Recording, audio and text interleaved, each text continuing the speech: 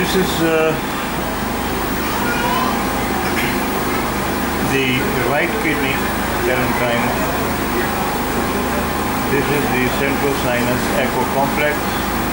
This is the capsule of the right kidney and this is the upper pole region that of the right kidney. This black area that you are seeing between the capsule and the parenchymal outline of the right kidney is fluid in the subcapsular space. Now this is fluid in the subcapsular space uh, at the upper pole of the right kidney. This is the liver, this is the diaphragm.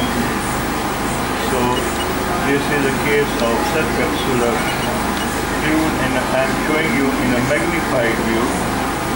A magnified view of the right kidney and liver. Here you see this is this fluid in fact relates to the left kidney uh, sorry right kidney. As you can see it's moving with the right kidney. And uh, otherwise the rest of the kidney is seen normal. This fluid is retroperitoneal location in retroperitoneal location. And uh,